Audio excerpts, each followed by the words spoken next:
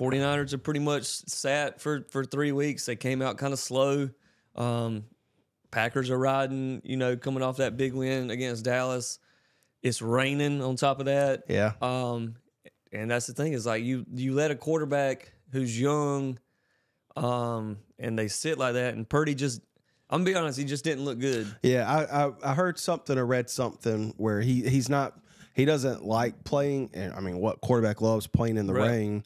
But he he he he struggled the entire first half. He did. Um, I, I truly deep down believe Kyle Shanahan that's not the quarterback he wants for the future.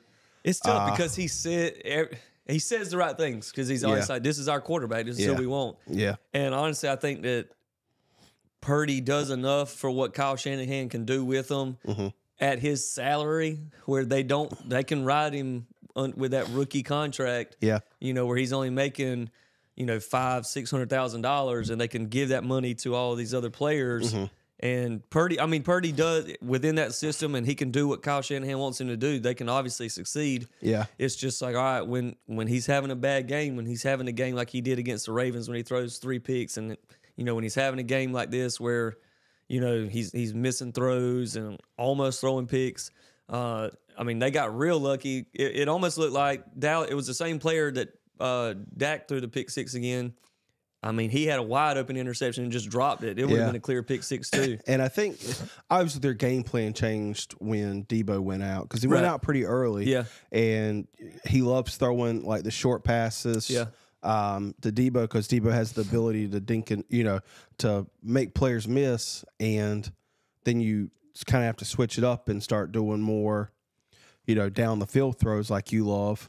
Uh, it clearly just wasn't comfortable for him. Yeah, and he's been the, the thing is is like he's been pretty good this year. Everyone, uh, you know, said that he was just a check down king, which he was his first year. That was kind of how they built him. But then this year he has like pressed the ball down the field a lot Yeah. more. But it's kind of built off of hitting short, hitting short, and then bam, hit Yeah. you long. And whenever you can't do that, it's like all right, you know, if you can't hit the short ones, we we can definitely just sit back on the long ones. Yeah, Um, but they, like I said, they figured it out.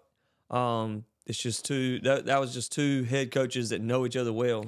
yeah. too. And Jordan Love, I mean, he he played dang near like he did last week, but Yeah. the the interception at the end was uh, that was that was bad. Yeah, and that's again, that's one of those. You're down.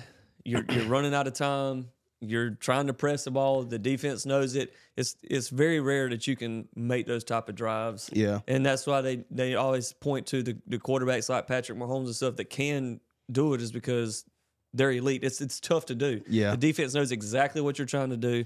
You're trying to do a little bit too much, Mm-hmm. and and that's just kind of what happens. Yeah, it I, I think if anything throughout this playoff run, the Packers fans should be extremely excited about their oh, future yeah. because I mean, they're youngest team in the league. the young, youngest team to ever win a playoff game, youngest team in the league, and I mean they were, you know, a few minutes away from winning that game and being in the NFC Championship Yeah, game. I was very worried about the the 49ers there because I mean it, it wasn't looking good because I mean they couldn't really get anything going on offense and then I just don't and and it's something that I noticed all weekend like uh, a, a flip gets switched Yeah. and it's like they turn on and they can they can move the ball Yeah, that, I mean that's and that's what the good teams do is like all right, they're the 49ers defense was giving them ju- same thing with the, the Ravens. They were giving them just enough to hang in there and Mm-hmm. Yeah. figure it out. Mhm.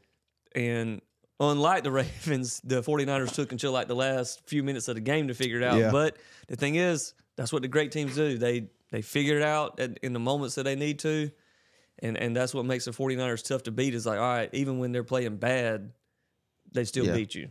And they're gonna run into a buzzsaw this weekend Yeah. Um, If you want to check out more of our NFL review of the divisional round, click here. and if you want to check out our preview for conference championships click here And if you want to see any more of our content, NFL, college, or anything sports related, make sure that you like, subscribe, and share.